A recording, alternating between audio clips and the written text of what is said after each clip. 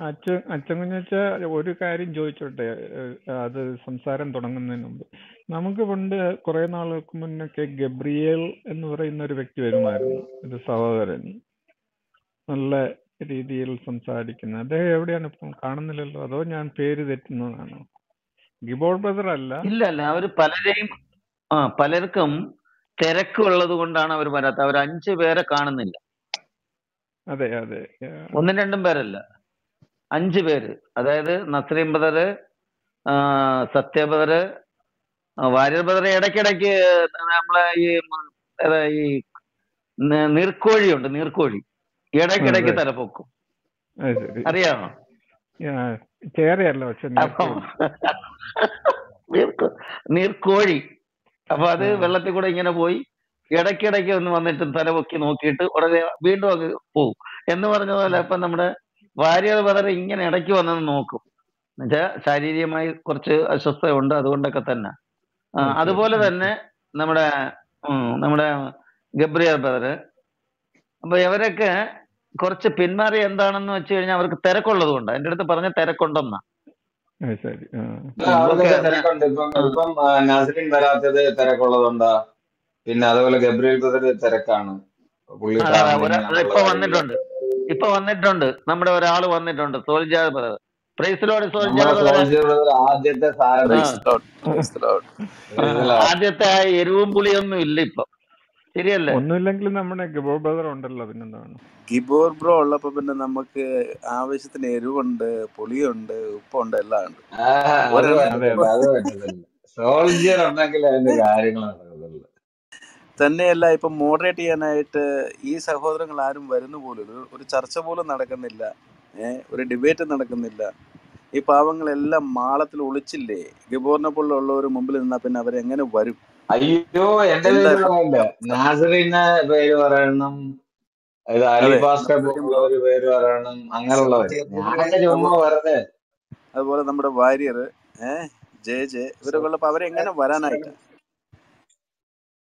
Soldier ബ്രദറെ ഇടയ്ക്ക് കാണാറുണ്ട്. ഞാൻ സത്യം കാണാറുണ്ട്. അതെ ഞാൻ സത്യം പറഞ്ഞാൽ അവരുടെ അടുത്ത് പോയിരുന്ന് സംസാരിക്കണം എനിക്ക് ഇഷ്ടം അവരുണ്ടെങ്കിലേ നമുക്ക് എന്താ പറയുക നമ്മുടെ ചോദ്യങ്ങൾക്ക് ഒഴി ഒഴുകി മാറുന്ന വഴുതി മാറുന്ന അവസരങ്ങളും അതൊക്കെ കാണാൻ ഒരു രസമാണ് പാവങ്ങൾ അപ്പൊ അതാണ് നമുക്ക് വേണ്ടത്. അവരുടെ അടുത്ത് പോയിരുന്നാ സംസാരിക്കാൻ സമ്മതിക്കുവോ? ആ അതാണ്. സംസാരിക്കാൻ അത് കഴിഞ്ഞ ദിവസം അലൻ ബ്രോഡ് ഉണ്ടായിരുന്നല്ലോ കണ്ടതാണല്ലോ.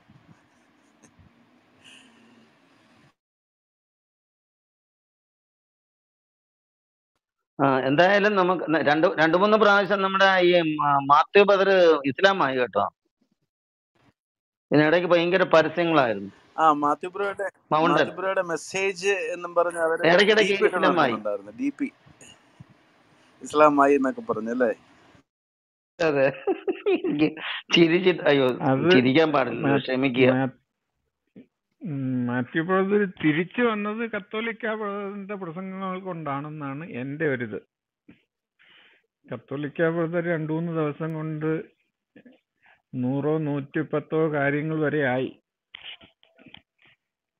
ഒരു ചോദ്യോത്തര വേളയൊക്കെ ഉണ്ടായിരുന്നു തുടങ്ങിയപ്പോൾ. പിന്നെ അത് കഴിഞ്ഞിപ്പം നല്ല രീതിയിൽ കത്തോലിക്ക ബ്രദർ കൈകാര്യം ചെയ്യുന്നുണ്ട്. അതല്ല ഈ മാത്യു ബ്രദറും എക്കിപ്പോ ഉണ്ടല്ലോ വളരെ സ്മൂത്ത് ആയിട്ട് ഡിഫെൻഡ് ചെയ്ത് അവരുടെ അവരുടെ അവരുടെ കളത്തിൽ കയറി കളിച്ച വ്യക്തികളാണ്. എനിക്ക് ഇപ്പോഴും ഓർമ്മയുണ്ട്. പക്ഷെ എനിക്ക് മാത്യു ബ്രദറിന്റെ കൂട്ടും എക്യു ബ്രദറിന്റെ കൂട്ടും അത്ര ക്ഷമ എനിക്കില്ല. എന്റെ ഒരു ഏറ്റവും വലിയൊരു വീക്ക്നെസ് ആണ് എനിക്ക് അത് അറിയാം. എനിക്ക് ആ ഒരു പേഷ്യൻസ് കുറവാ. ഒരു ഒരു ലിമിറ്റ് വരെ ഞാൻ കൺട്രോൾ ചെയ്യും. അത് കഴിഞ്ഞ് എനിക്ക് പിടിച്ചു നിൽക്കാൻ പറ്റും. എന്ന് പറഞ്ഞാൽ തെറി വിളിക്കുന്നല്ലാണ്ട് ക്ഷമയുള്ള ഞാൻ ഒന്ന് ഗിയർ ഒക്കെ ഒന്ന് ചേഞ്ച് ചെയ്യും. പക്ഷെ നേരെ പറഞ്ഞ് ക്ഷമയുള്ള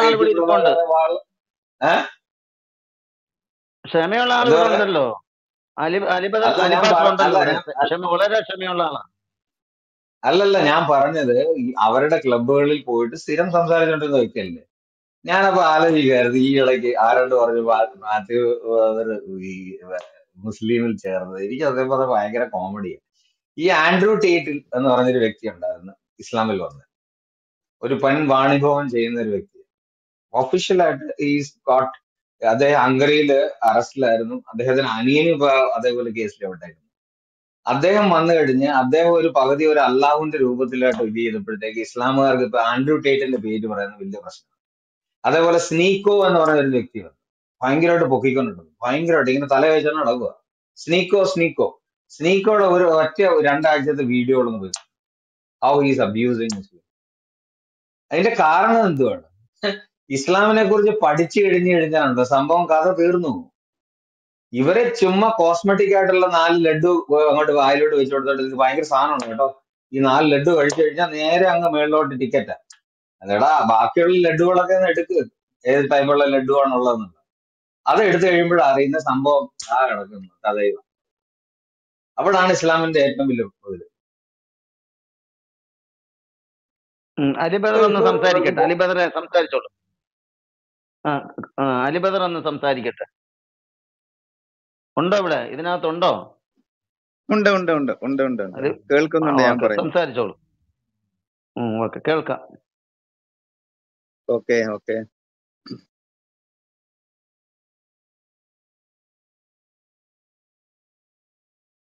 ഇസ്ലാമിൽ നമ്മളെ ഹെഡിങ് തന്നെ അപ്പോളജിസ്റ്റുകൾ ഖുർആൻ പഠിപ്പിക്കുന്നുണ്ട്. ഇരുന്നൂറ്റി എൺപത്തി ഏഴ് ദിവസമായിട്ട് ഈ വിഷയം തന്നെ കൈകാര്യം ചെയ്തുകൊണ്ടിരിക്കുക. സാധാരണ മുസ്ലിങ്ങൾക്ക് പോലും കഴിയാത്തതായ കാര്യങ്ങൾ അത്രയും ദിവസം. നമ്മുടെ ക്രിസ്ത്യൻ മിഷണറിമാരും എല്ലാവരും വന്ന് എടുക്കുന്നതായ ക്ലാസ്സുകളെ കുറിച്ചൊക്കെ കഴിഞ്ഞ ദിവസങ്ങളിൽ വിശകലനം ചെയ്യാൻ തക്കവണ്ണമൊക്കെ നമുക്ക് ഇടയായി തീർന്നു ഞാൻ പറഞ്ഞൊക്കെ കേൾക്കുന്നുണ്ടോ? കേൾക്കാം കേൾക്കാം ആ ഓക്കെ ഓക്കെ ഓക്കെ. അപ്പോ ഇസ്ലാമിനെ കുറിച്ചൊക്കെ നമ്മൾ പഠിക്കുമ്പോൾ തന്നെ ഇസ്ലാമിനെ രണ്ടാക്കി പഠിക്കണം. ഇസ്ലാമിന് രണ്ട് മുഖങ്ങളുണ്ട്. ഒന്നാമത്തെ മുഖം എന്ന് പറയുന്നത് ഇസ്ലാമിന് മുമ്പും ഇസ്ലാമിന്റെ പിമ്പും. ഇസ്ലാമും മുമ്പ് എന്തായിരുന്നു? ഇസ്ലാം ആരാ ഇസ്ലാം ഉണ്ടായിരുന്നു. ഇസ്ലാമിന്റെ ഉത്ഭവം എവിടെയാണ്? ഇസ്ലാമിന്റെ മുമ്പ് അറബികളുടെ ആരാധന എന്തായിരുന്നു? അവരെങ്ങനെയാണ് ആരാധിച്ചിരുന്നത്? അവരെന്തിനെയാണ് ആരാധിച്ചിരുന്നത്? അവരുടെ ആരാധനാ വസ്തു എന്തായിരുന്നു? ഏത് രീതിയിലാണ് അവർ ആരാധിച്ചിരുന്നത്? എന്നീ കാര്യങ്ങളൊക്കെ നമ്മൾ മനസ്സിലാക്കും. അതിനുശേഷം മുഹമ്മദിന് വെളിപ്പാടോ അല്ലെങ്കിൽ വെളിച്ചപ്പാടോ കിട്ടി എന്ന് പറഞ്ഞതിന് ശേഷം ഖുർആനെ രണ്ടായിട്ട് പഠിക്കണം. ഒന്ന് മക്ക കാലഘട്ടം. മക്ക കാലഘട്ടം എന്ന് പറയുന്ന ഏകദേശം പതിമൂന്ന് വർഷക്കാലം. ഈ പതിമൂന്ന് വർഷക്കാലം മുഹമ്മദ് ഖുർആൻ പഠിപ്പിച്ചിട്ടും അല്ലെങ്കിൽ പ്രസംഗിച്ചിട്ടും മുഹമ്മദിന് ആരെയും കിട്ടിയില്ല എന്നാണ് നമ്മൾ വായിക്കുന്നത്. കയ്യിൽ എണ്ണാനുള്ള ആൾക്കാർ മാത്രമേ മുഹമ്മദിൽ വിശ്വസിച്ചുള്ളൂ. എന്ന് പറഞ്ഞാൽ അവിടെ സൗമ്യതയായിരുന്നു. മുഹമ്മദിന്റെ കൈമുതൽ എന്ന് പറയുന്നത്. ആരും ഉപദ്രവിക്കുന്നില്ല എന്നൊക്കെയാണ് പറയുന്നത് പണ്ഡിതന്മാർ. ഏതായാലും നമുക്കത് വിശ്വസിക്കാം. ആ സൗമ്യതയിലൂടെ അല്ലെങ്കിൽ സ്നേഹത്തിലൂടെയൊക്കെ മുഹമ്മദ് ഇസ്ലാം പ്രചരിപ്പിച്ചപ്പോൾ മുഹമ്മദിനെ ആരും കിട്ടിയില്ല. കൂടുതൽ ആൾക്കാർ ആരെയും കിട്ടിയില്ല എന്നാണ് നമ്മൾ വായിക്കുന്നത്. കൂടുതൽ വിശ്വസിച്ചില്ല. അങ്ങനെ മുഹമ്മദ് എടുത്ത് പ്ലേറ്റ് എടുത്ത് മാറ്റിയൊക്കെ മദീന കാലഘട്ടം രണ്ടാമത് മദീന കാലഘട്ടമാണ്. ഈ മദീന കാലഘട്ടം എന്ന് പറഞ്ഞാൽ പൊളിറ്റിക്കൽ ഇസ്ലാമിന്റെ ആർവി ആവിർഭാവം അവിടുന്ന് ഉണ്ടാകുന്നത്. പൊളിക്ക പൊളിറ്റിക്കൽ ഇസ്ലാമിൽ നിന്ന് കൊല ചെയ്യുക തലവെട്ടുക രാത്രി മറഞ്ഞിരുന്ന് കൊല്ലുക ഏ? അള്ളാഹുവിൽ വിശ്വസിക്കുക മുഹമ്മദ് പ്രവാചകനാണെന്ന് ഏറ്റുപറയുക അഷഹദു അല്ലാ ഇലാഹ ഇല്ലല്ലാഹു അഷഹദു അന്ന മുഹമ്മദ് റസൂലുള്ള നിങ്ങൾ ഏറ്റുപറഞ്ഞില്ലെങ്കിൽ അവനെ കൊല്ലുക അവനെ തല വെട്ടുക എന്നുള്ള തിയറി കൊണ്ടുവന്നത് മദീന കാലഘട്ടത്തിൽ അതാണ് വിജയിച്ചത്. കൊല്ലുക. വലിയൊരു ഗ്രൂപ്പ് ഉണ്ടാക്കി ഒരു കൊള്ള സംഘത്തെ വാർത്തെടുത്തു. ഖൈബർ പോലുള്ളതായ സ്ഥലങ്ങളിൽ പോയി അവിടെ ഖൈബറിലൊക്കെ എന്ന് പറഞ്ഞ യഹൂദന്മാരായിരുന്നു താമസിച്ചുകൊണ്ടിരുന്നത് മുഴുവനും. അവരൊന്നും അറിയാതെ ആരെയും മനസ്സിലാക്കാതെ കൊന്നു മുടിച്ചു എന്നാണ് അവിടെ വായിക്കുന്നത്. അവരെ വസ്തുക്കളെല്ലാം തന്നെ മുഹമ്മദും അനുയായികളും കൊള്ള ചെയ്ത് വിഭാഗിച്ചെടുത്ത ഒരു അനുഭവം. അതാണ് പൊളിറ്റിക്കൽ ഇസ്ലാം എന്ന് പറയുന്നത്. ഇത് ഇത് തന്നെയാണ് ഇന്നും നടക്കുന്നത് പൊളിറ്റിക്കൽ എവിടെ നോക്കിയാലും കൊല്ലുക ഐ എസ് ഐ എസിന്റെ പരിപാടികൾ അതെല്ലാം സാധാരണക്കാരായ മുസ്ലിങ്ങളെല്ലാം. സാധാരണക്കാരായ മുസ്ലിങ്ങൾ എന്ന് പറഞ്ഞാൽ കൂടുതൽ വിദ്യാഭ്യാസം ഒന്നും ഇല്ലാതെ ഖുർആൻ അറിയാതെ ഖുർആൻ മാത്രം വായിച്ച് ചിന്തിക്കുന്നവരാണ് ഈ സാധാരണ മുസ്ലിങ്ങൾ എന്ന് പറയുന്നത്. അതിൽ കൂടുതലും തൊണ്ണൂറ് ശതമാനം സുന്നികളാണ്. വലിയ പ്രശ്നം ഉണ്ടാക്കാനായിട്ട് പോകാത്ത അവർ അവരുടേതായ കാര്യം നോക്കി ജീവിക്കുന്നതായ ഒരു വലിയൊരു വിഭാഗമാണ് ഈ സുന്നികൾ എന്ന് പറഞ്ഞത്. ഞങ്ങളെ എന്റെ കുടുംബമൊക്കെ സുന്നി കുടുംബമാണ്. ഞങ്ങൾ ജനിച്ചതും വളർത്തപ്പെട്ടൊക്കെ സുന്നി കുടുംബം അന്നത്തെ കാലത്ത് ഇത്രയും വലിയ പ്രശ്നങ്ങളൊന്നും ഇല്ലായിരുന്നു. എന്നപോലെ ചാക്കിൽ കീറുന്ന പരിപാടിയൊന്നും എന്റെ ചെറുപ്പത്തിലില്ല. അതൊക്കെ വളരെ വർഷങ്ങൾക്ക് ശേഷമാണ്. ഈ ചാക്കിൽ കയറിയൊക്കെ നടക്കുന്ന ആത്മീയം വലിയ കൂടുതലാണ് എന്ന് പറഞ്ഞ് മുമ്പോട്ട് പോകുന്ന ഒരു കാലഘട്ടം. അപ്പോ മുഹമ്മദ് ഈ പൊളിറ്റിക്കൽ ഇസ്ലാം ആരംഭിച്ചത് തന്നെ മദീന കാലഘട്ടങ്ങളിൽ അവിടെ കൊള്ളയടിക്കുക കൊലപാതകം ചെയ്യുക ബലാത്സംഗം ചെയ്യുക വിശ്വാസികൾക്ക് അല്ലെങ്കിൽ ബലാത്സംഗം ചെയ്യാനുള്ളതായ സാഹചര്യങ്ങൾ ഒരുക്കി കൊടുക്കുക ഭർത്താവിനെ കൊല്ലുക മാതാപിതാക്കളെ കൊല്ലുക എന്നിട്ട് അവരുടെ മക്കളെ കൊണ്ടുവരിക എന്നിട്ട് അവിടെ അടിമകളാക്കുക ഇതാണ് വാസ്തവത്തിൽ മദീന കാലഘട്ടം എന്ന് പറയുന്ന പൊളിറ്റിക്കൽ ഇസ്ലാമിന്റെ തിയറി തന്നെ വാസ്തവത്തിൽ അതാണെന്ന് നമുക്ക് കാണാൻ സാധിക്കും. അപ്പൊ ഇസ്ലാമിനെ നമ്മൾ രണ്ടായിട്ട് പഠിക്കണം. സാധാരണ മുസ്ലിങ്ങൾ എല്ലാം പറയുന്നത് ആദ്യ കാലഘട്ടം മദീന മക്ക കാലഘട്ടമാണ്. മദീന കാലഘട്ടം എടുക്കുകയില്ല? സാധാരണ ആരും മുസ്ലിങ്ങളും അത് എടുക്കാനായിട്ട് തുനികയില്ല കാരണം അതിനകത്ത് അത്രമാത്രം ഭീകരമായ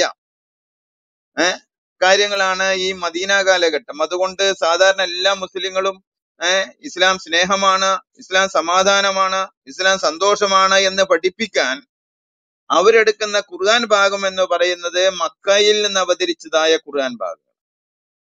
മദീനയിൽ നിന്ന് അവതരിച്ചെടുക്കുകയില്ല. അപ്പൊ അങ്ങനെയുള്ള ഒരു പ്രത്യേക കാലഘട്ടങ്ങളിലാണ് ഇസ്ലാം മുമ്പോട്ട് പോയത് അപ്പൊ ഇസ്ലാമിനെ രണ്ടായിട്ട് പഠിക്കണം. ആദ്യം ഇസ്ലാമിനെ മുമ്പ് എന്തൊക്കെയായിരുന്നു ഇസ്ലാം എങ്ങനെയാണ് ആരാധിച്ചിരുന്നത്? എന്തിനെയാണ് ആരാധിച്ചിരുന്നത്? അവർ ആരാധന വസ്തു എന്താണ്? അവർ എങ്ങനെയുള്ള ജീവിച്ചവരാണ്? അവരുടെ കൾച്ചർ എന്താണ്? എന്ന് നമ്മൾ ആദ്യം ഇസ്ലാമിന് മുമ്പുള്ള ഇസ്ലാമിന്റെ ചരിത്രങ്ങളിൽ അറബികളുടെ ചരിത്രങ്ങൾ പഠിക്കണം. അറബികളെ സംബന്ധിച്ചിടത്തോളം വലിയ പ്രശ്നമില്ലാത്ത ഒരു വിഭാഗമായിരുന്നു. എന്നാൽ മുഹമ്മദിന്റെ കാലഘട്ടം വന്നപ്പോഴാണ് മുഹമ്മദ് സകല പ്രശ്നങ്ങൾക്കും തീ കൊളുത്തിയതൊക്കെ നമുക്ക് കാണാനൊക്കെ കഴിയും. ഇസ്ലാം മുന്നമ്പ് രണ്ടാമത്തത് മദീന കാലഘട്ടവും അതുപോലെ മക്ക കാലഘട്ടവും. ഈ രണ്ട് കാലഘട്ടം പഠിച്ചെങ്കിൽ മാത്രമേ ഇസ്ലാം എന്താണെന്ന് മനസ്സിലാക്കാനൊക്കെ ആയിട്ട് സാധിക്കും. അത് നമ്മൾ ഓരോരുത്തരും പഠിക്കണം അത് മനസ്സിലായോ? ഈ രണ്ട് കാലഘട്ടങ്ങളെ കുറിച്ച് പഠിച്ചെങ്കിലേ ഇസ്ലാമിന്റെ യഥാർത്ഥ മുഖം തിരിച്ചറിയാനായിട്ട് സാധിക്കും. ഇസ്ലാമിന്റെ മുമ്പ് അറേബ്യൻ ചരിത്രം നമ്മൾ പഠിക്കുമ്പോൾ അവരെ വിഗ്രഹാരാധികളായിരുന്നു നമുക്കറിയാം. മുന്നൂറ്റി അറുപത് ദേവീ ദേവന്മാരാണ് ആരാധന വസ്തു എന്ന് പറയുന്നത്. ചന്ദ്രമാസം അല്ലെങ്കിൽ ചന്ദ്രവർഷം എന്ന് പറയുന്നത് മുന്നൂറ്റി അറുപത് ദിവസം ആ മുന്നൂറ്റി അറുപത്തഞ്ച് ദിവസത്തെ പിൻപറ്റുന്നവരാണ് എന്നാൽ ഈ ചന്ദ്രമാസം എന്ന് ചന്ദ്രവർഷം എന്ന് പറയും ചന്ദ്രമാസം എന്ന് പറയുന്നത് ഒരു വർഷം മുന്നൂറ്റി അറുപതാണ് അപ്പൊ മുന്നൂറ്റി അറുപത് ദിവസം ഓരോ ദിവസവും ഓരോ മാറി മാറി മാറി ആരാധിക്കുന്ന ഒരു വിഭാഗമായിരുന്നു വാസ്തവത്തിൽ ഈ അറബികൾ എന്ന് പറയുന്നത്. ഇതിലെയോ? മാറി മാറി ആരാധിക്കുക. അതാ മുന്നൂറ്റി അറുപത് ഇതിലെയോ? അതിൽ പ്രധാനപ്പെട്ട ഒരു ദേവനായിരുന്നു എന്ന ചില ആൾക്കാരൊക്കെ പറയുന്നത്. ചില മുസ്ലിങ്ങൾ പണ്ട് അതിൽ പ്രധാനപ്പെട്ട ആളായിരുന്നു അള്ളാഹു എന്ന് പറയുന്നത്. ഈ അള്ളാഹുവിന്റെ പെൺമക്കുള്ളത് വന്നജമി സൂറത്ത് അല്ലെങ്കിൽ അമ്പത്തി ഒമ്പത് പത്തൊമ്പത് ഇരു ഭാഗങ്ങളിലൊക്കെ നമുക്ക് വ്യക്തമായിട്ട് മനസ്സിലാക്കാനൊക്കെ ആയിട്ട് സാധിക്കുന്നുണ്ട്. ഈ മുന്നൂറ്റി അറുപത് ദേവന്മാരിൽ പ്രധാനിയായ അള്ളാഹു അള്ളാഹുവിന്റെ പെൺമക്കളായ ലാത്ത മനാത്ത ഉസ്സ ഏഹ് ഈ അറബികൾക്ക് തന്നെ പന്ത്രണ്ട് ഗോത്രങ്ങൾ ഉണ്ടായിരുന്നു അത് പന്ത്രണ്ടായിട്ട് വിഭജിക്കപ്പെട്ടു. ഇപ്പൊ നമ്മൾ കാണുന്നില്ലേ ഇന്നത്തെ ചില അക്രൈസ്ത ക്രൈസ്തവരൊക്കെ. ഓരോരുത്തർക്ക് അവരുടെ കുടുംബക്ഷേത്രത്തിൽ അവർക്ക് പ്രധാനമായ ദേവതകളുണ്ട്. ഏഹ് ചില ആൾക്കാർ കൃഷ്ണനെ ആരാധിക്കുന്നു ചില ആൾക്കാര് പല വിഗ്രഹങ്ങളെയാണ് ആരാധിക്കുന്നത്. എന്നതുപോലെ അറബികൾ പന്ത്രണ്ട് ഗോത്രങ്ങളായിട്ട് അവർ തിരിച്ചിരുന്നു. ഈ പന്ത്രണ്ട് ഗോത്രങ്ങളെ ഗോത്രങ്ങൾക്ക് ദേവന്മാരും ദേവിമാരും ഉണ്ടായിരുന്നു. അതിന്റെ പ്രധാന ഒരു ഗോത്രമായിരുന്നു മുഹമ്മദിന്റെ ഖുറൈശി എന്ന് പറഞ്ഞ ഗോത്രം. ഖുറൈശി ഗോത്രത്തിന്റെ പ്രധാന ദേവനായിരുന്നു ഈ അള്ളാഹു എന്ന് പറയുന്നത്. ഈ ദേവനെ ഉപാൽ അല്ലെങ്കിൽ ചന്ദ്രദേവൻ എന്ന പേരിലാണ് അറിയപ്പെടുന്നത്. മുസ്ലിങ്ങളുടെ പള്ളി കണ്ടിട്ടില്ലേ? അതിന്റെ മുകളിലുണ്ടായ ഈ ചന്ദ്രക്കല അതിൽ നിന്ന് ഉത്ഭവിച്ചതാ. അതിന്റെ സ്മരണ നിലനിർത്തുന്നതിന് വേണ്ടിയാണ് അള്ളാഹുവിനെ സ്മരണ നിലനിർത്തുന്നതാണ് ഈ ചന്ദ്രക്കല അവിടെ മോസ്കിന്റെ മുകളിൽ ചിത്രീകരിച്ചത് അല്ലെങ്കിൽ അവിടെ കൊണ്ട് സ്ഥാപിച്ചത് എന്നൊക്കെയാണ് പറയപ്പെടുന്നത്. അള്ളാഹുവിനെ സംബന്ധിച്ചിടത്തോളം ഇവരെ പറയുന്നത് ഒരുവനാണെന്നാണ് പറയുന്നത്. അള്ളാഹു ഒരുവനാണ്. അതിനവരെടുക്കുന്നതായ ആ വാക്ക് എന്ന് പറയുന്നത് തന്നെ ഇഖ്ലാസ് ആണ് കുൽ പറയുക അള്ളാഹു ഒരുവനാണ്. ഒരുവൻ എന്ന് പറയുമ്പോൾ ഒരുത്തൻ എന്നുള്ള അർത്ഥത്തിലല്ല. ഒരുവൻ എന്ന് പറയുമ്പോൾ നമ്മളിൽ ഒരുവൻ അഹദുൻ എന്നുള്ള വാക്കാണ് അവിടെ ഉപയോഗിച്ചിരിക്കുന്നത്. ഈ അഹദുൻ എന്നുള്ളത് ഖുർആാനിൽ പല ഭാഗത്തും അഹദുൻ എന്നുള്ള വാക്ക് ഉപയോഗിച്ചിട്ടുണ്ട്. ഒരു ഭാഗത്തോ രണ്ട് ഭാഗത്തോ മൂന്ന് ഭാഗത്തോ അല്ല ഉപയോഗിച്ചിരിക്കുന്നത്. പല ഭാഗങ്ങളിൽ അഹദുൻ എന്നുള്ള വാക്ക് ഉപയോഗിച്ചോടത്തെല്ലാം തന്നെ നമ്മളിൽ ഒരുവനെന്നോ കൂട്ടത്തിൽ ഒരുവനെന്നോ അവരിൽ ഒരുവനെന്നോ മുന്നൂറ്റി അറുപതിൽ ഒരുവനെന്നോ ഇവരിൽ ഒരുവനെന്നോ എന്നൊക്കെയുള്ള വാക്കാണ് അഹദ്വൻ എന്നുള്ള വാക്കിന് ഉപയോഗിച്ചിരിക്കുന്നത്. അതെന്ന് വളരെ വ്യക്തമായിട്ട് കാണാനൊക്കെ ആയിട്ട് സാധി അത് ഖുർആാനൊക്കെ പഠിക്കുന്ന ഓരോ വ്യക്തികൾക്കും കണ്ടെത്താനായിട്ട് കഴിയുന്ന ഒരു വിഷയമാണ്. അപ്പൊ മുഹമ്മദ് പറഞ്ഞു കുൽ പറയുക. വല്ലാഹു അഹദ്. അള്ളാഹു ഒരുവനാണ്. അള്ളാഹു ഒരുവനാണ് എന്ന് പറഞ്ഞു.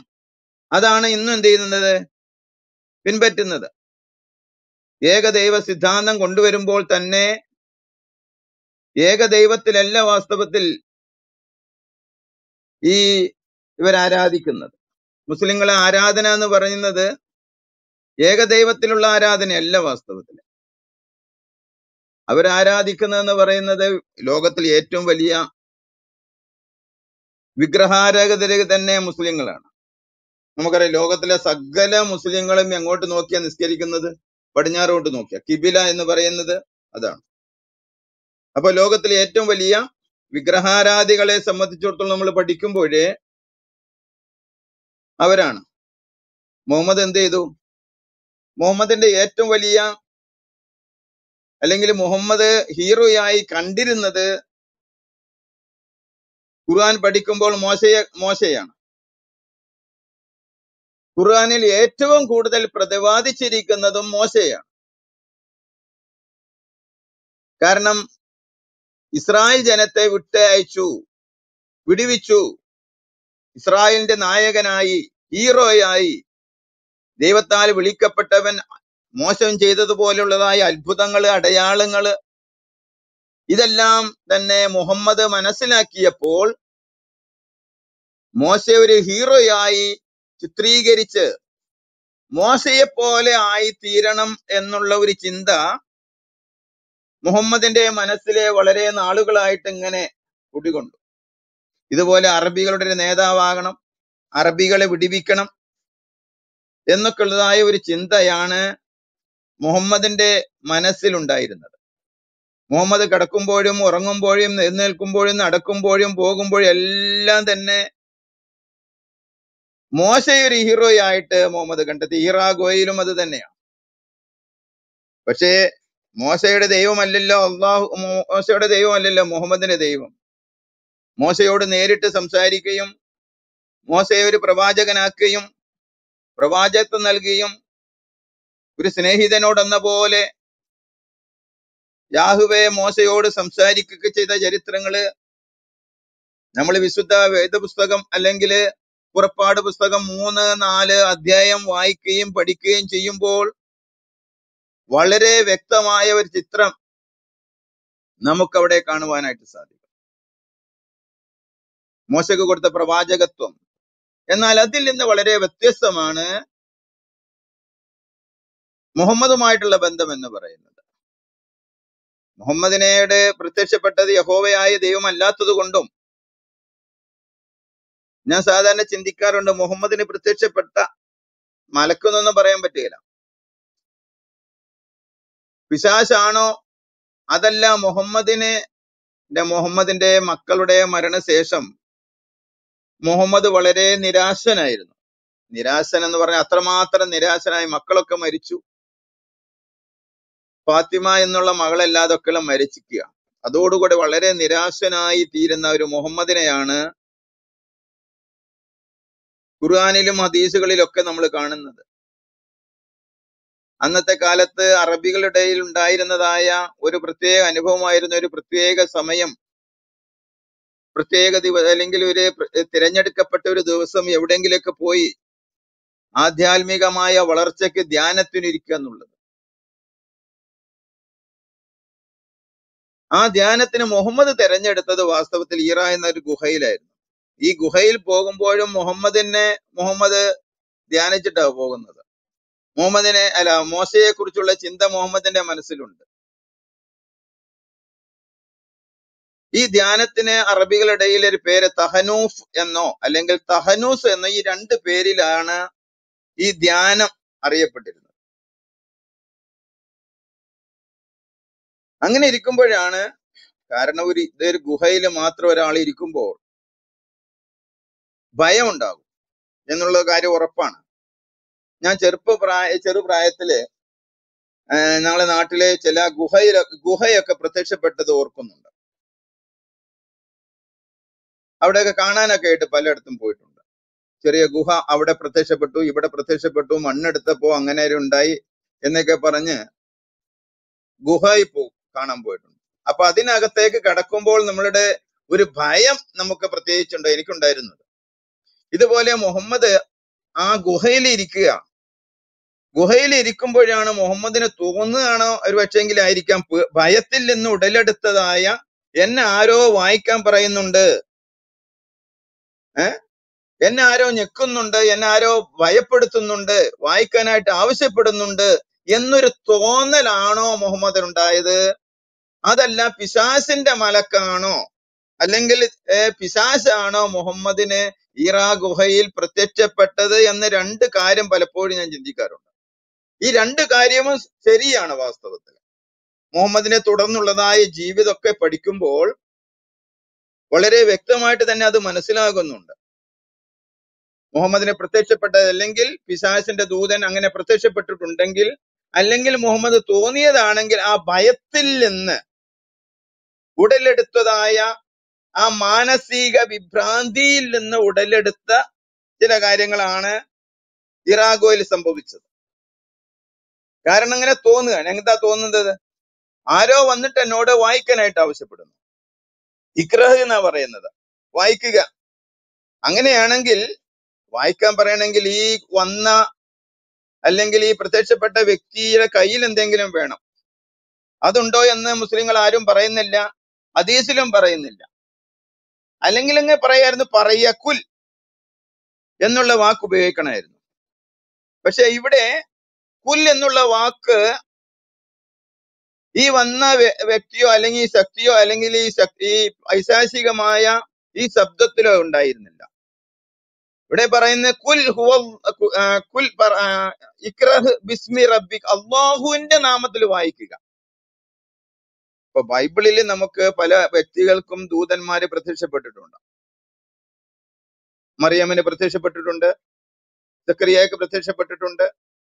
അങ്ങനെ പല വ്യക്തികൾക്കും പ്രവാചകന്മാർക്കും പുരോഹിതന്മാർക്കും എല്ലാം തന്നെ ദൂതന്മാര് പ്രത്യക്ഷപ്പെട്ടിട്ടുണ്ട് ദൈവദൂതന്മാര്.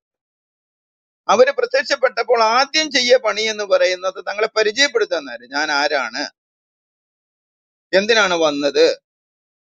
വന്നതിന്റെ ആവശ്യകത എന്താണ്? ആരാണ് തങ്ങളെ പറഞ്ഞയച്ചത്?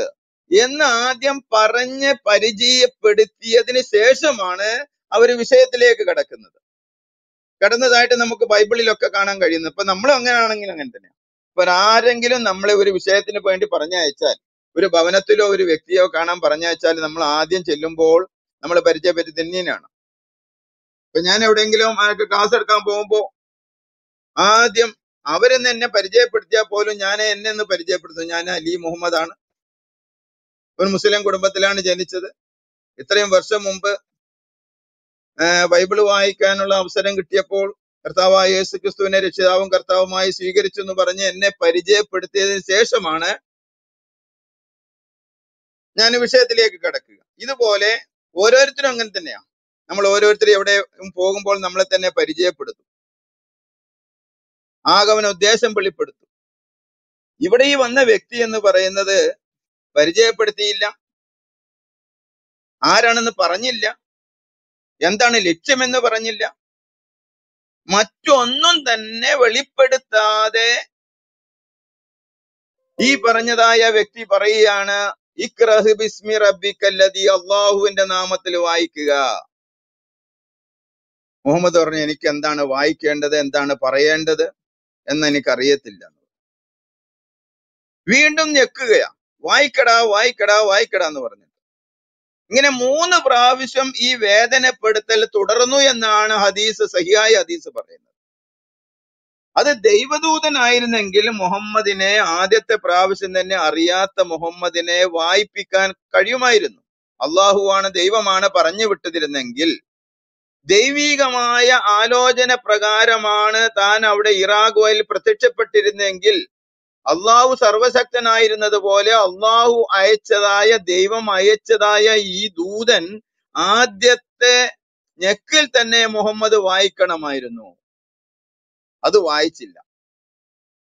അത് വായിച്ചില്ല എന്നാണ് അവിടെ വായിക്കുന്നത് നമ്മൾ. മൂന്ന് പ്രാവശ്യം ഞെക്കി വായിപ്പിക്കാൻ ശ്രമിച്ചിട്ടും ഇവിടെ പരാജയപ്പെടുകയാണ്. വായിപ്പിക്കാൻ കഴിയും. അപ്പോ ഇത് അള്ളാഹു അയച്ചതാണെന്നല്ല നമ്മളെ മുസ്ലിം സഹോദരങ്ങൾ പറയാം. അങ്ങനെയാണെങ്കിൽ അള്ളാഹു ആരല്ല മുഹമ്മദിനെ കുറിച്ചുള്ള വ്യക്തമായ ഒരു ധാരണ അള്ളാഹുവിനില്ലായിരുന്നു. ഒരു ഉദാഹരണം നമ്മൾ പറഞ്ഞു കഴിഞ്ഞാൽ മോശ വരുന്നത് യഹോവയായ ദൈവം കണ്ടു എന്നാണ് നമ്മളെ പുറപ്പാട് പുസ്തകത്തിൽ വായിക്കുന്നത്. അങ്ങനെ മോശെ മോശ എന്നവനെ വിളിച്ചു. എന്നവിടെ കാണുന്നുണ്ട് നമ്മൾ മനസ്സിലായ? മോശ വരുന്നത് കണ്ടു. കാണാനുള്ള കഴിവ് അല്ലെങ്കിൽ മോശയുടെ പേര് പോലും വ്യക്തമായി അറിയാവുന്ന വ്യക്തിയായിരുന്നു യഹോവയായ ദൈവമെന്ന് വിശുദ്ധ ബൈബിൾ വളരെ വ്യക്തമായിട്ട് പറയും ഇവിടെ അള്ളാഹുവിന് മുഹമ്മദ് ആരാണെന്നോ മുഹമ്മദിനെ വായിക്കാൻ അറിയില്ലെന്നോ മുഹമ്മദിനെ വായിക്കാൻ അറിയില്ലെന്ന് വിചാരിച്ചാൽ ഞെക്കി ഈ ദൂതൻ വന്ന് ഞെക്കിയിൽ മുഹമ്മദ് വായിക്കണമായിരുന്നു. അങ്ങനെ ഒരു അവസ്ഥയും നമുക്ക് കാണാനായിട്ട് സാധിക്കുന്നു. അവിടെയും അള്ളാഹുവും പരാജയപ്പെടുന്നു. ഈ ദൂതനും പരാജയപ്പെടുകയാണ്. രണ്ട് പരാജയം അവിടെ അള്ളാഹുവാണ് അയച്ചതെങ്കിൽ അള്ളാഹു അയച്ച ദൂതൻ അവിടെ പരാജയം. മുഹമ്മദിനെ ഞെക്കി വായിപ്പിക്കാൻ ശ്രമിച്ചിട്ട് അവിടെ പരാജയപ്പെട്ട് കയ്പുനീര് കുടിക്കുന്ന ഒരു അനുഭവമാണ് അവിടെ മലക്കിനുണ്ടാകുന്നത്. രണ്ടാമത്തത് അള്ളാഹുവിന് പറ്റ പരാജയം മുഹമ്മദിന് വായിക്കാൻ അറിയില്ല എന്നുള്ളത് അള്ളാഹു വാസ്തവത്തിൽ അറിയത്തില്ലായിരുന്നു. അള്ളാഹുവിന് പറ്റ രണ്ടാമത്തെ പരാജയം എന്ന്. സർവശക്തനല്ല എന്നുള്ളത്. മൂന്നാമത്തത് അവിടെ പറയുന്ന ഇക്രഹ് ബിസ്മി റബ്ബിക്കല്ലദീന. ബിസ്മി എന്ന് പറഞ്ഞ അള്ളാഹുവിന്റെ നാമത്തിൽ വായിക്കുക. അപ്പൊ അള്ളാഹുവിന്റെ നാമത്തിൽ വായിക്കാൻ ശ്രമിച്ചിട്ടും പരാജയപ്പെടുന്നു. അള്ളാഹുവിന്റെ നാമത്തിന് ശക്തിയില്ല എന്നുള്ളതാ. ഇവിടെ യേശുവിന്റെ നാമത്തിൽ അത്ഭുതങ്ങൾ നടക്കട്ടെ. യേശുവിന്റെ നാമത്തിൽ ഭൂതം പോക പുറത്ത് പോകട്ടെ. ഏഹ് വിടുതൽ നടക്കട്ടെ. രോഗി സൗഖ്യമാകട്ടെ യേശുവിന്റെ നാമത്തിൽ എന്ന് പറയുമ്പോൾ ഇന്നും സൗഖ്യമാകുന്നു. നാമത്തിന് ശക്തിയുണ്ട്. യേശുവിന്റെ നാമത്തിന് ശക്തിയുണ്ട്. ദൈവത്തിന്റെ നാമത്തിന് ശക്തിയുണ്ട്. വിടുതൽ പ്രാപിപ്പാനിടയായി തീരുന്നു പക്ഷേ അള്ളാഹുവിന്റെ നാമത്തിന് ഇതൊന്നും ഇല്ലെന്നുള്ളത് ഈറാ ഗുഹയിൽ തെളിയിക്കപ്പെട്ടതായ ഒരു വിഷയമാണ്. തെളിയിക്കപ്പെട്ട ഒരു വിഷയം വളരെ വളരെ വ്യക്തമാണ്. മൂന്ന് പ്രാവശ്യം ഞെക്കി പരാജയപ്പെട്ട മലക്ക് ഞെക്കി വേദനിച്ച് ഭയപ്പെട്ട് മാനസിക വിഭ്രാന്തി പ്രാപിച്ച മുഹമ്മദ് ഈ മൂന്നാമത്തെ ഞെക്കിന് ശേഷം പേടിച്ച് ഓടുകയാണ് എങ്ങോട്ടാ ഓടുന്നത് ഭവനത്തിലേക്ക്.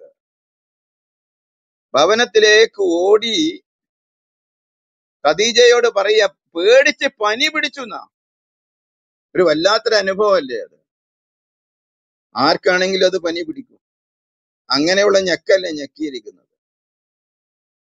പനി പിടിച്ച് ഖദീജ എടുത്ത് ചെന്നിട്ട് പറഞ്ഞു പുതച്ചു തരിക പുതച്ചു തരിക പുതച്ചു തരിക. ഖദീജ പുതച്ചൊക്കെ കൊടുത്തു. അല്പ ആശ്വാസമൊക്കെ കിട്ടി. എന്താണിത് എന്ന് അറിയാതെ ഖദീജ ഒരു ക്രൈസ്തവ പുരോഹിതന്റെ അടുക്കലേക്ക് മുഹമ്മദിനെ കൊണ്ടുപോയി എന്നാ പറയുന്നത്?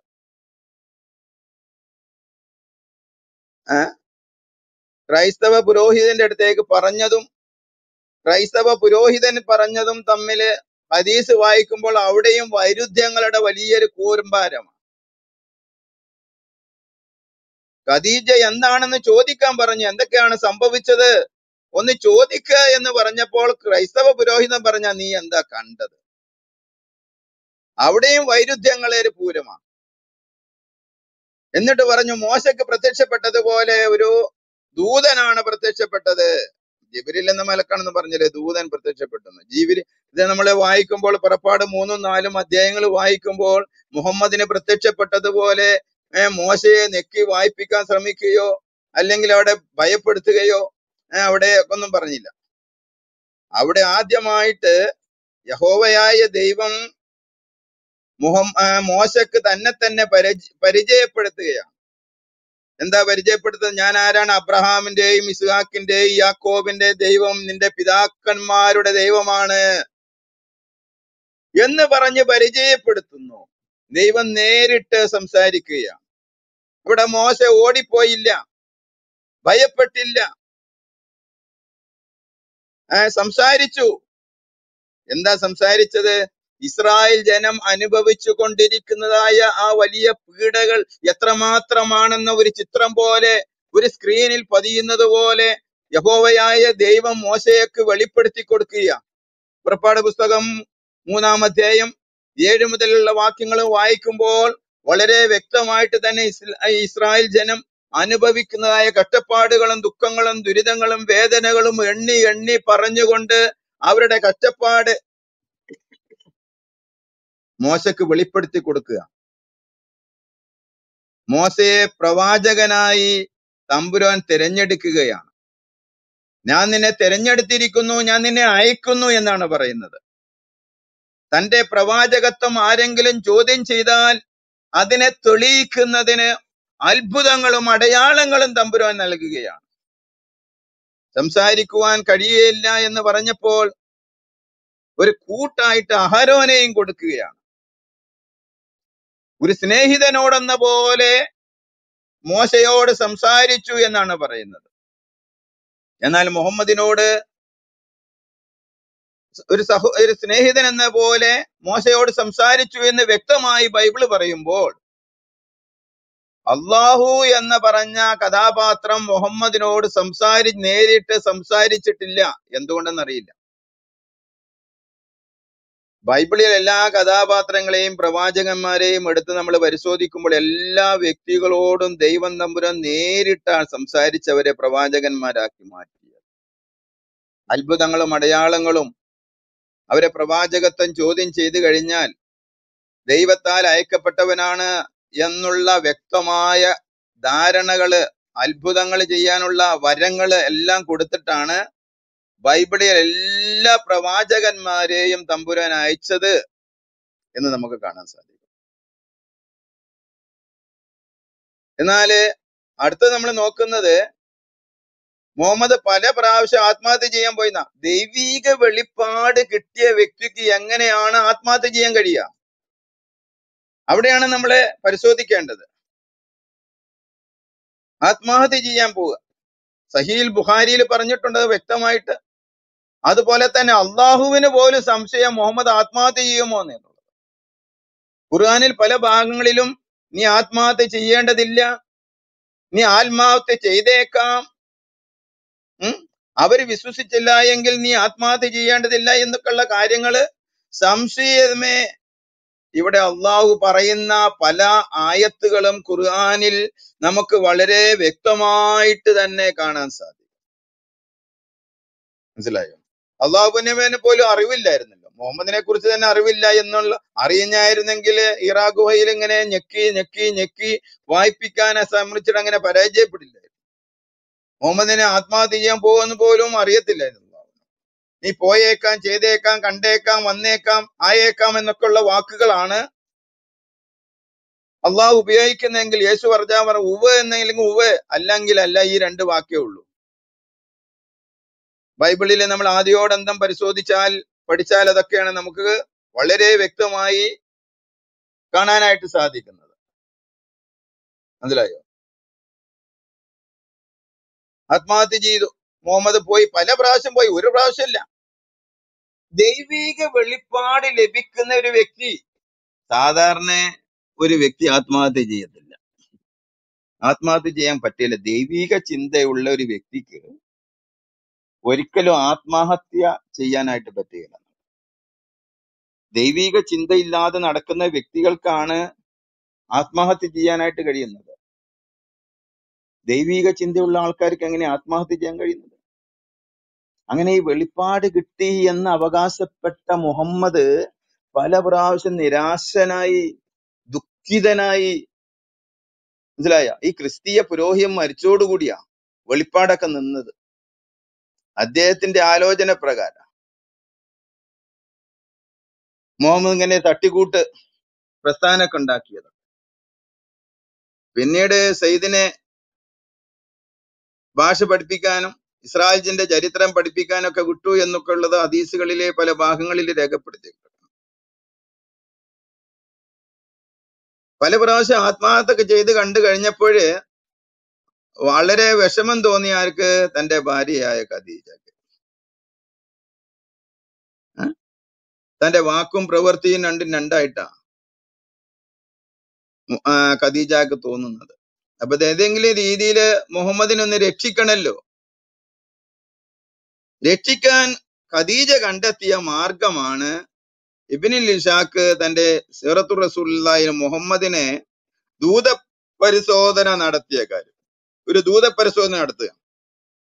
ആദ്യം വസ്ത്രത്തോടു കൂടെ തന്നെ മടി മുഹമ്മദിനെ തുടയിലിരുത്തി ഇടത്തെയും വലത്തെയും ഇരുത്തി. അവിടെ എല്ലാം ഈ ദൂതന മുഹമ്മദ് കാണുന്നുണ്ട്. അങ്ങനെ ഖദീജ തുണിയെല്ലാം അയച്ചങ്ങ് മാറ്റി. നഗ്ന ശരീരത്തിൽ മുഹമ്മദിനെ പിടിച്ച് ഇരുത്തിയിട്ട് ചോദിച്ചു ഇപ്പൊ നീ ദൂതനെ കാണുന്നുണ്ടോ? എന്ന്. ബുദ്ധിമതിയായ ഖദീജ തന്റെ ഭർത്താവിനെ ആത്മാഹത്തിൽ നിന്ന് രക്ഷിക്കാൻ കണ്ടെത്തിയ മാർഗമായിരുന്നു ഈ ദൂത പരിശോധന എന്ന് പറയുന്നത്.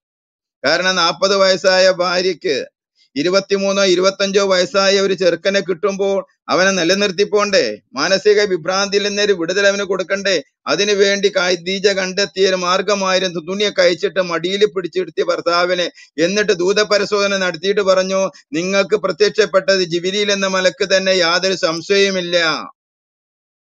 അങ്ങനെ മുഹമ്മദ് പറഞ്ഞു ഞാൻ അള്ളാഹുവിന്റെ പ്രവാചകനാണ്. അള്ളാഹു എന്നെ തെരഞ്ഞെടുത്തിട്ടുണ്ട്. എന്ന് പറഞ്ഞ് മുഹമ്മദ് സ്വയം പ്രഖ്യാപിക്കുകയാണ്. അപ്പൊ അള്ളാഹു നേരിട്ട് സംസാരിച്ചിട്ടില്ല അള്ളാഹു നേരിട്ട് മുഹമ്മദിനെ പ്രവാചകനാക്കിയിട്ടില്ല. രണ്ടാമത്തത് ഈറാ ഗുഹയിൽ വന്നത് മലക്കാണെന്ന് മലക്ക് പറഞ്ഞില്ല. അല്ലെങ്കിൽ ആരും മുഹമ്മദ് അല്ലാതെ ഈ മലക്കിനെ വേറെ ആരും കണ്ടിട്ടില്ല.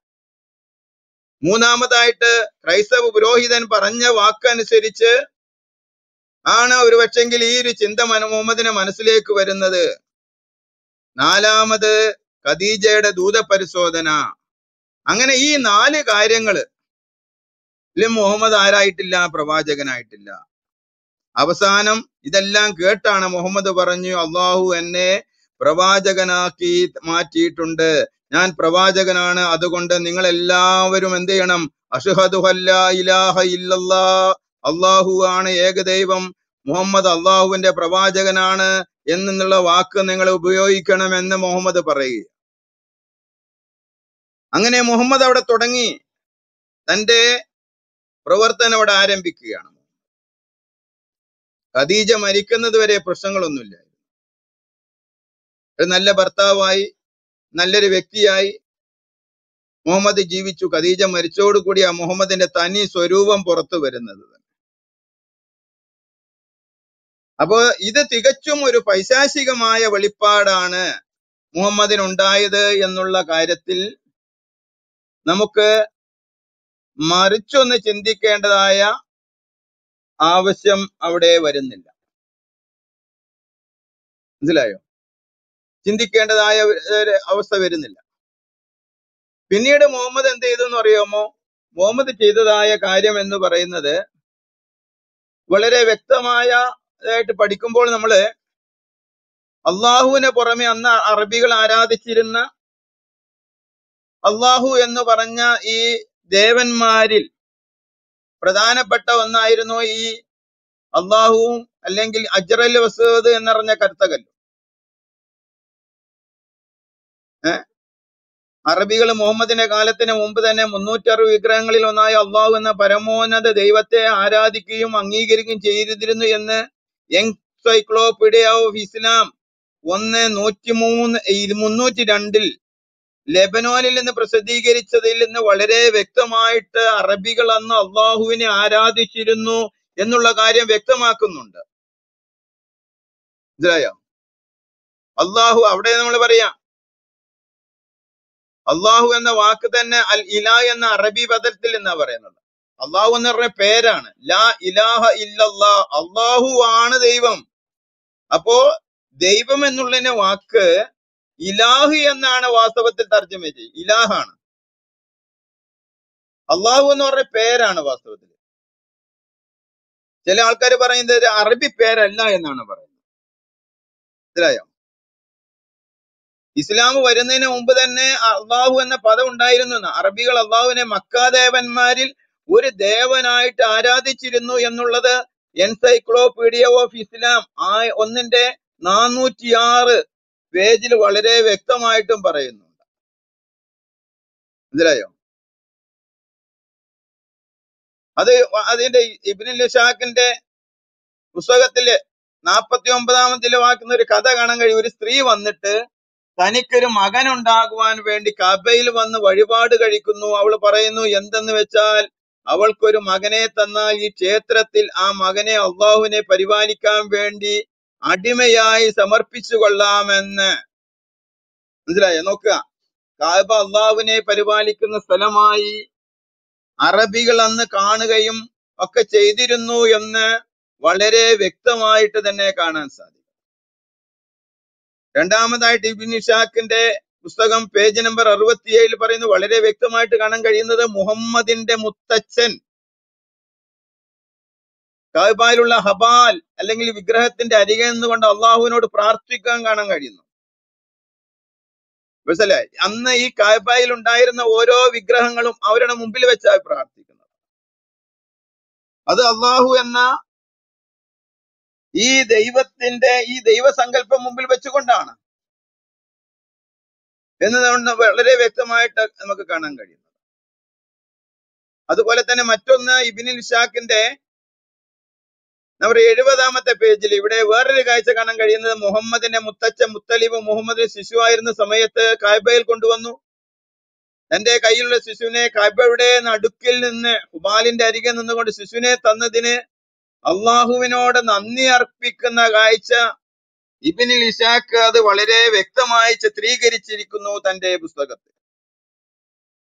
ഇങ്ങനെയൊക്കെ നോക്കുമ്പോൾ മുഹമ്മദിന് മുമ്പ് തന്നെ അള്ളാഹു എന്ന് പറഞ്ഞ മുന്നൂറ്റി അറുപതിൽ ഹുബാൽ അല്ലെങ്കിൽ ഹബാൽ അല്ലെങ്കിൽ ചന്ദ്രദേവൻ ഉണ്ടായിരുന്നു അത് കാബക്കകത്തായിരുന്നു. ഈ മുന്നൂറ്റി അറുപത് മുന്നൂറ്റി അറുപതിന്റെ കൂട്ടത്തിൽ ആരാധിച്ചിരുന്നു ആരാധന വസ്തുവായിരുന്നെന്ന് വളരെ വ്യക്തമായിട്ട് തന്നെ നമുക്കിതെല്ലാം കാണാനൊക്കെ ആയിട്ട് സാധിക്കും മനസ്സിലായോ? നമുക്കതൊരിക്കലും തിരസ്കരിക്കാനായിട്ട് പറ്റുകയില്ല കാര്യങ്ങൾ അപ്പോൾ ഇത് യഥാർത്ഥമായി നമ്മൾ ഇരുപത്തിമൂന്ന് വർഷത്തെ കാലത്തെ ഉള്ള ചരിത്രം എന്ന് എടുത്ത് പരിശോധിച്ചാൽ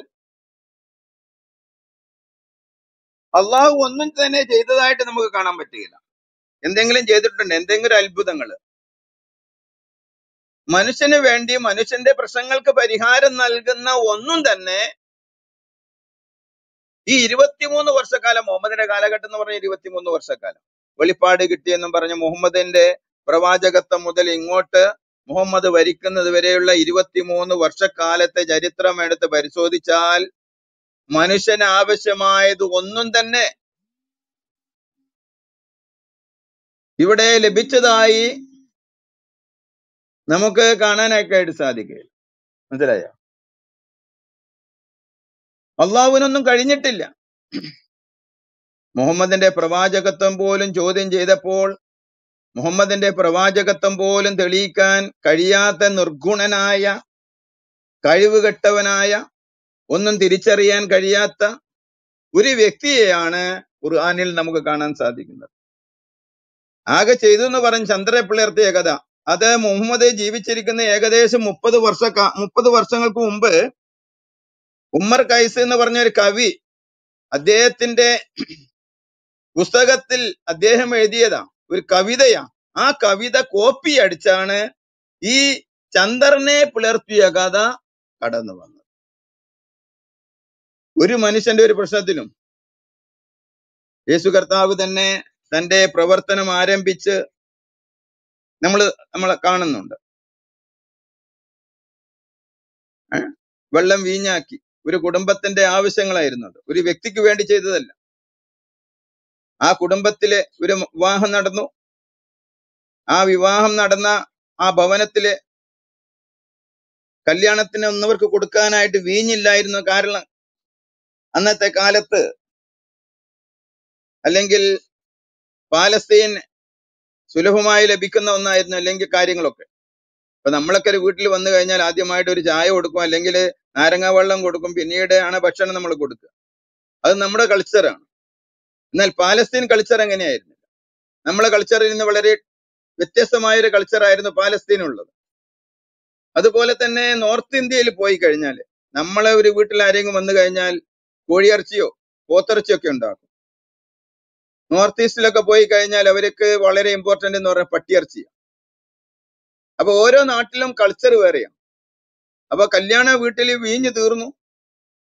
അത് ഒരു അപമാനത്തിന്റെ പ്രശ്നമായി മാറും ആ കുടുംബത്തിലെ.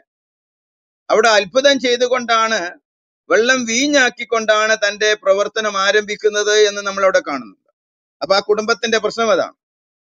രോഗികളായിരിക്കുന്നവര് പാപം ഉള്ളവരെ പാപം മോചിച്ചു കൊടുത്തുകൊണ്ട് അധ്വാനിക്കുന്നവരും ഭാരം ചുമക്കുന്നതായ വ്യക്തികൾ അവരുടെ പ്രശ്നങ്ങൾക്ക് പരിഹാരം നൽകിക്കൊണ്ട് രോഗികൾക്ക് സൗഖ്യം നൽകിക്കൊണ്ട് മുപ്പത്തിയെട്ട് വർഷക്കാലം തളർവാദമായ ഒരു വ്യക്തി അവിടെ കിടക്കുക മുപ്പത്തെട്ട് യേശു കർത്താവ് ആകെ ജീവിച്ചിരുന്ന മുപ്പത്തിരണ്ട് വർഷക്കാലം.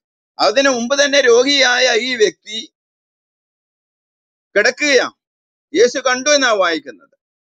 യേശുവിന് മനസ്സിലാക്കി അവനോട് ചോദിച്ചു നിനക്ക് മനസ്സുണ്ടോ സൗഖ്യമാകാനായിട്ട്? കർത്താവ് പറഞ്ഞ "ക- കിടക്ക എടുത്തുകൊണ്ട് വീട്ടിലോട്ട് പോകുക അവൻ വീട്ടിലോട്ട് പോയി. കിടക്കെടുത്തുകൊണ്ട് മുപ്പത്തിയെട്ട് വർഷക്കാലം തളർവാദ രോഗി എഴുന്നേറ്റ് നടക്കാൻ പോലും കഴിയാതെ പ്രയാസപ്പെട്ട് ദുഃഖിച്ച് വേദനപ്പെട്ട് ആരാലും സഹായിക്കാനില്ലാതെ വേദനപ്പെട്ട് കിടക്കുന്ന ഒരു വ്യക്തിയെ യേശു കണ്ട് അവനോട് പറഞ്ഞു സുഖമാകുക. നീ കിടക്കുന്ന കിടക്ക എടുത്തുകൊണ്ട് വീട്ടിലോട്ട് പോകുക എന്ന് പറഞ്ഞു. അവനെ എഴുന്നേറ്റ് നടന്ന് മുപ്പത്തെട്ട് വർഷം കിടക്കയിൽ കിടന്ന മനുഷ്യൻ. പിന്നീട് യേശു അവനെ ദേവാലയത്തിൽ തെച്ച് കണ്ടപ്പോ പറഞ്ഞു ഇനി പാപം ചെയ്യരുത്. അവന്റെ രോഗം പാപത്തിന്റെ ഫലമായിരുന്നു. അപ്പൊ യേശു എന്ത് ചെയ്തു? അവന്റെ പാപം മോചിച്ചു കൊടുത്തപ്പോൾ അവൻ സൗഖ്യമായി തീർന്നു. പാപം മോചിച്ചു കൊടുക്കാനുള്ള കഴിവ് യേശുവിനുണ്ടായിരുന്നു. മരിച്ചവരെ ഉയർത്താനുള്ള കഴിവ് യേശുവിനുണ്ടായിരുന്നു. രോഗികൾക്ക് സൗഖ്യം കൊടുക്കാനുള്ള കഴിവ് യേശുവിനുണ്ടായിരുന്നു. സകല പ്രശ്നങ്ങൾക്കും പരിഹാരം നൽകുവാനുള്ള കഴിവ് യേശുവിനുണ്ടായിരുന്നു. യേശു പറഞ്ഞു എന്റെ സമാധാനം ഞാൻ നിങ്ങൾക്ക് തന്നേച്ചു പോകുകയാണ്. അത് ലോകം തരുന്നത് പോലെയല്ല. സമാധാനം നൽകാൻ കഴിയുന്നുണ്ടായിരുന്നു. എന്നാൽ ഈ അള്ളാഹു ആട്ടെ ആയിരത്തി നാനൂറ് കൊല്ലായിട്ട് മുഹമ്മദിന് വേണ്ടി പ്രാർത്ഥിക്കുക അള്ളാഹു മാത്രാണോ? ഇന്നല്ലാഹു മലായിക്കത്തു അള്ളാഹുവും അള്ളാഹുവിന്റെ മലായിക്കത്തിയും കോടിക്കണക്കിനുണ്ടെന്നല്ലേ പറയുന്നത്. അതിന്റെ പുറമെ യാഹയ്യുവല്ലദീന സത്യവിശ്വാസികളെ നിങ്ങളും എന്ത് ചെയ്യണം? എത്ര കോടി ജനങ്ങളുണ്ട് കേരള ഇന്ത്യയിൽ ലോകത്തിൽ മൊത്തത്തിൽ? ഓരോ വ്യക്തിയും നിസ്കരിച്ചു കഴിഞ്ഞാൽ അഞ്ചു പ്രാവശ്യമെങ്കിലും ഒരു ദിവസം ഈ മുഹമ്മദിന് വേണ്ടി കോടാനകോടി ജനങ്ങൾ പ്രാർത്ഥിക്കുക. എന്താ പ്രാർത്ഥിക്കുന്നത്? സല്ലു യാ സത്യവിശ്വാസികളെ ശാന്തിയും സമാധാനം ഉണ്ടാകാൻ നിങ്ങൾക്ക് മുഹമ്മദിന് വേണ്ടി പ്രാർത്ഥിപ്പി ശാന്തിയുമില്ല സമാധാനമില്ല അങ്ങനെ ഇല്ലാത്തത് അത്രമാത്രം പാപം ചെയ്ത് പാപം ചെയ്ത് പാപം ചെയ്ത് ജീവിക്കുന്ന ഒരു വ്യക്തിക്ക് എങ്ങനെയാ സമാധാനം ഉണ്ടാകുക ആയിരത്തി നാനൂറ് കൊല്ലായി അള്ളാഹുവും മലായിക്കത്തീങ്ങളും കോടാനകോടി വിശ്വാസികളും മുഹമ്മദിന് വേണ്ടി ഇന്നും പ്രാർത്ഥിച്ചുകൊണ്ടിരിക്കുക മരിച്ചു കിടക്കുന്ന മുഹമ്മദിന് വേണ്ടി. എന്നിട്ട് ശാന്തി കിട്ടിയോ? സമാധാനം കിട്ടിയോ? ഇല്ല. എന്തുകൊണ്ടാ? പാപമോചനം നൽകുവാൻ ഈ അള്ളാഹുവിനോ ഒന്നും തന്നെ കഴിയയില്ല എന്നുള്ളതാണ്. അള്ളാഹു ദൈവമായിരുന്നെങ്കിൽ മുഹമ്മദിന് പാപമോചനം കൊടുക്കാൻ കഴിയുമായിരുന്നു. അള്ളാഹു ദൈവമായിരുന്നെങ്കിൽ മുഹമ്മദിനെ പ്രവാചകനാക്കാൻ കഴിയുമായിരുന്നു. അള്ളാഹു ദൈവമായിരുന്നെങ്കിൽ ഒരു സകല മനുഷ്യന്റെ പ്രശ്നങ്ങളും പരിഹരിക്കാനായിട്ട് കഴിയുമായിരുന്നു യേശു ചെയ്തതുപോലെ. ഇതൊന്നും ചെയ്യാനായിട്ട് അള്ളാഹുവിനും മുഹമ്മദിനും കഴിയില്ല അതുകൊണ്ടാണ് മനുഷ്യനെ കൊന്നുകൂട്ടുന്നത്. മനസ്സിലായോ? ഇസ്ലാം എന്ന് പറയുന്ന ഒരു ഭീകര സംഘടനയാണ് ഒരു ഭീകര മതമാണ്. അതിനകത്ത് സത്യമില്ല നീതിയില്ല ഒന്നുമില്ലാത്ത ഒരു മതം. അത് ഖുർആൻ പഠിക്കുമ്പോൾ നമുക്കറിയാം. അതുകൊണ്ടാണല്ലോ ഖുർആൻ അർത്ഥം മനസ്സിലാക്കിയൊന്നും പഠിപ്പിക്കുകയില്ല. സാധാരണക്കാരന് അർത്ഥം മനസ്സിലാകുകയില്ല. ഇന്ന് തൊണ്ണൂറ്റി ഒമ്പത് തൊണ്ണൂറ്റി എട്ട് ശതമാനം ജനങ്ങൾക്കും അറബി ഓതാൻ അറിയാന്നുള്ളതല്ലാതെ വായിക്കാൻ അറിയാന്നുള്ളതല്ലാതെ കാണാതെ പഠിക്കുന്നു എന്നുള്ളതല്ലാതെ അതിന്റെ അർത്ഥം എന്താണെന്ന് അറിയത്തില്ല. ഞങ്ങളൊക്കെ ചെറുപ്പത്തിൽ അങ്ങനെയാ ഖുർആൻ പഠിച്ചത് ഓതാൻ അറിയാം വായിക്കാൻ അറിയാം പക്ഷെ അർത്ഥം എന്താണെന്ന് അറിയത്തില്ല. അർത്ഥം അറിയുകയാണെങ്കിൽ ഡിഗ്രിക്ക് മേലെ പോണം. എങ്കിലേ മാത്രമേ അറബി അറിയുള്ളൂ. അപ്പൊ അതുകൊണ്ട് ഇത് ഇസ്ലാം എന്ന് പറയുന്നത് ഒരു ഭീകരമായ ഒരു സംഘടനയാണ്. ദൈവത്താൽ സർവശക്തനായ അല്ലെങ്കിൽ സൃഷ്ടാവായ ദൈവത്താൽ ഉരുവായതായ ഒരു മതമല്ല ഇസ്ലാം എന്ന് പറയുന്നത്. മനസ്സിലായോ? ഒരു വ്യക്തിപരമായ ഒരു ബന്ധമില്ലാത്ത ഒരു മതമാണ് ഇസ്ലാം എന്ന് പറയുന്നത്. മനുഷ്യനും ദൈവമായിട്ട് ഒരു വ്യക്തിപരമായ ബന്ധമില്ല. എന്നാൽ ക്രൈസ്തവ വിശ്വാസം എന്ന് പറഞ്ഞ വ്യക്തിബന്ധമാണ്. മനസ്സിലായോ? തിരിച്ചറിയുന്ന പ്രായത്തിൽ ദൈവം ആരാണെന്ന് തിരിച്ചറിഞ്ഞുകൊണ്ട് അവന്റെ ഹൃദയത്തിലേക്ക് കടന്നു വരുമ്പോൾ ഒരു പുതിയ മനുഷ്യനായി അതാണ് ബൈബിൾ പറയുന്നത് ക്രിസ്തുവിലാകുന്നവൻ പുതിയ സൃഷ്ടിയാണ്. മനസ്സിലായോ? ഒരു പുതിയ മനുഷ്യനായിട്ട്. ലേഖനം നമ്മൾ വായിക്കുമ്പോൾ അവിടെ രണ്ട് സ്വഭാവമുള്ള വ്യക്തികൾ പഴയ സ്വഭാവവും മറ്റൊരു പുതിയ സ്വഭാവവും നമുക്ക് കാണാൻ കഴിയും. പഴയ സ്വഭാവം പാപത്തിനെ അടിമപ്പെട്ട് ജീവിച്ചതായി ഒരു സ്വഭാവം. അതിൽ നിന്ന് യേശു ഉള്ളത്തിലേക്ക് വരുമ്പോൾ അവന്റെ ഹൃദയം പാപമെല്ലാം കഴുകി ദൈവം ഹൃദയത്തിൽ വസിക്കുന്ന ഒരു അനുഭവം. ഈ അനുഭവം ഇസ്ലാമിൽ കാണാൻ പറ്റുകയില്ല. അപ്പൊ ഇസ്ലാം അല്ല ക്രൈസ്തവ വിശ്വാസം എന്ന് പറയുന്നത്. രണ്ടും ഒരു ദൈവമല്ല. അള്ളാഹുവിനും അതുപോലെ തന്നെ പിശാസിനും ഒരേ സ്വഭാവമാണെന്ന് ഖുർആാനിൽ തന്നെ പല ഭാഗങ്ങളിലും നമുക്ക് വായിക്കാൻ സാധിക്കും. അപ്പൊ അതുകൊണ്ട് ഇസ്ലാം എന്താണെന്ന് ഈ ഗ്രൂപ്പിലുള്ള ഓരോ വ്യക്തിയും വ്യക്തമായി മനസ്സിലാക്കി. നമ്മളെ മുസ്ലിം സഹോദരങ്ങൾ നഷ്ടപ്പെട്ടവരാണെന്ന് മനസ്സിലാക്കി. അവക്ക് അവരോട് രക്ഷയുടെ സന്ദേശം അറിയിക്കാനുള്ള കടമ തമ്പുരോൻ നമ്മെ ഓരോരുത്തരെയും ഏൽപ്പിച്ചിട്ടുണ്ട് എന്നുള്ള ബോധ്യം ആ വെളിച്ചം ആ വെളിപ്പാട് നമ്മൾ ഏറ്റെടുക്കേണ്ടതായിട്ടുണ്ട്. ശുദ്ധ പത്രോസ് പറയുന്ന അന്ധകാരത്തിൽ നിന്ന് അത്ഭുത പ്രകാശത്തിലേക്ക് വിളിച്ചവന്റെ സൽഗുണങ്ങളെ ഘോഷിപ്പാൻ തിരഞ്ഞെടുക്കപ്പെട്ട രാജകീയ പുരോഹിത വർഗമാണ് ഓരോ ക്രൈസ്തവനും. അപ്പൊ അവന്റെ ഹൃദയത്തിലേക്ക് വന്നവന്റെ സൽഗുണങ്ങളെ ഘോഷിക്കാൻ തിരഞ്ഞെടുക്കപ്പെട്ട വ്യക്തി എന്നുള്ള നിലയിൽ സത്യം മനസ്സിലാക്കി ഇസ്ലാം എന്താണെന്ന് മനസ്സിലാക്കി ഖുർആൻ എവിടുന്നാണെന്ന് മനസ്സിലാക്കി അള്ളാഹു ആരാണെന്ന് തിരിച്ചറിഞ്ഞ് സത്യസുവിശേഷം ഓരോ മുസ്ലിം സഹോദരങ്ങളോടും പറയുവാൻ വിളിക്കപ്പെട്ടവരാണ് ഓരോ ക്രൈസ്തവരും അല്ലെങ്കിൽ ഈശോ യേശുവിനെ ഹൃദയത്തിൽ സ്വീകരിച്ചതായ ഓരോ വ്യക്തിയും എന്ന് തിരിച്ചറിയുവാൻ നമുക്കിടയായി. എങ്കിൽ മാത്രമേ നമുക്ക് നിത്യതയിൽ കർത്താവ് വരുമ്പോൾ കർത്താവ് താൻ ഗംഭീരനാദത്തോടും പ്രധാന ദൂതന്റെ ശബ്ദത്തോടും ദൈവത്തിന്റെ കാഹളത്തോടും കൂടെ സ്വർഗത്തിൽ നിന്ന് ഇറങ്ങി വരുമ്പോൾ ക്രിസ്തുവിൽ മരിച്ചവരുടെ കൂട്ടത്തിൽ നമ്മളും കാണപ്പെടുന്നു. അല്ലെങ്കിൽ നമുക്ക് കാണപ്പെടാനായിട്ട് പറ്റുകയില്ല. അതുകൊണ്ട് സത്യം തിരിച്ചറിഞ്ഞ് ഓരോ വ്യക്തികളോടും വിശേഷം പറയുവാൻ നമുക്കിടയാകട്ടെ എന്ന് പ്രാർത്ഥിച്ച് ഞാൻ അവസാനിപ്പിക്കുന്നു. ദൈവം നമ്മെ ധാരാളമായി അനുഗ്രഹിക്കുകയും ആശീർവദിക്കുകയും ചെയ്യട്ടെ. ആമേ